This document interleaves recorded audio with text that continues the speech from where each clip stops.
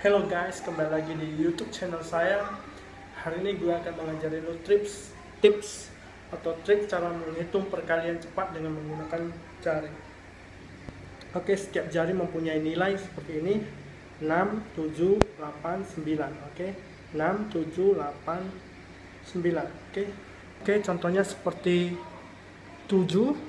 Oke, ini 7 dikali 7. Oke, yang ditutup ada 1 2 3 4 4 terus ini 1 2 3 1 2 3 dikalikan.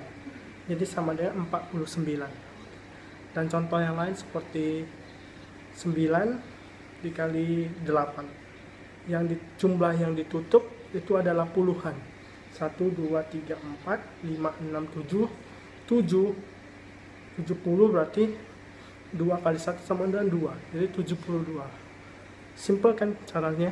Oke terima kasih telah menonton video saya. Semoga video ini bermanfaat bagi kalian semua. Please subscribe thumbs up my channel like comment below. Thank you for watching. See you next time